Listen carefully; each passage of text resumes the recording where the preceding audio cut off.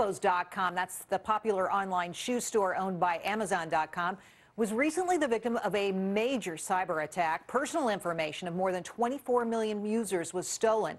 So what kind of information do the hackers now have? And will this affect you if you have an Amazon account? Hemu Nigam is the founder of SSP Blue, a cybersecurity advisory firm. He's also the former chief security officer for News Corp, that is the parent of this network, Fox Business. Hemmo, welcome to the show. Okay, well, what happened here? Help us understand in simple terms. Well, hi, Gerri. I got to tell you, 2011, we were saying was the year of this cybercrime.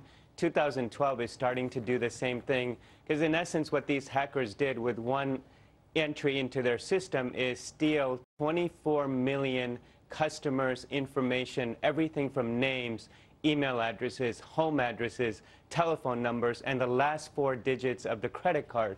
But That's not the full credit card number right? Not the full credit no. card number. Exactly. It's not the full credit frankly. card number it's actually great. It is great comfort because, um, but at the same time for Zappos, and I think their CEO said it very nicely when he wrote in that memo.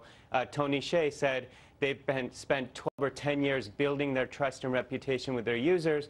Hackers came in and just destroyed all that, and that I think is something that everybody out there who's a company needs to think about. You know, one of our producers uh, got one of these e emails. Here's how it reads, the email yeah. you're talking about. We are writing to let you know. What if you got this this morning? Think about it. We are writing to let you know there may have been illegal and unauthorized access to some of your customer account information, including your name, email address, billing, shipping address, just what you were saying, phone number, the last four digits of your credit card, but not your actual password. You know, clearly hackers are getting into everything now, but it's really up to the mm-hmm. company to make sure this doesn't happen. Uh, does Zappos have adequate protection? Does Amazon have adequate protection? Well, I think if I was a customer of Zappos, I would, well, do what they're saying, change your password. But if you used Amazon, do the same thing because you never know when companies own a different subsidiary. They may be connected on the back end.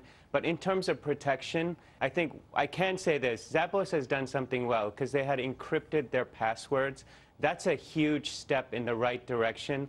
Now, one thing that I think companies can learn from is the fact that the hacker came in and took so many different types of information tells me, or at least suggests, that the way it was stored was when you come in through the front door, you break that door down, which the hackers did.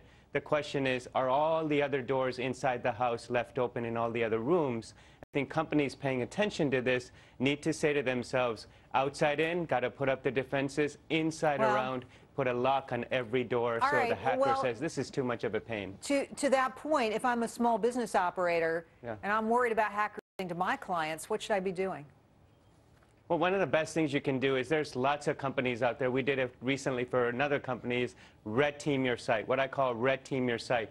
Bring in white hat hackers who are on your side, have good them guys. break in, tell them and the good guys, and they can tell you. They won't take it away and run. They'll actually say, look what I can take. We'll help you figure out how to fix it. And if you change anything, let's say you're adding a new product line, you're changing a feature on the site, hack it in, hack again, do what we call hack and penetration testing. And then finally, secure education for, or secure coding education for your engineers or your outside company. Ask that company, are you teaching your engineers how to securely code whatever they're writing in the bits and pieces they do online? All right, Hemu, great stuff. Thanks for coming on tonight. We really mm-hmm. appreciate it. And keep in mind here, folks, Hemu said if you are an Amazon customer, customer, you might as well change your password now. Good advice from an expert.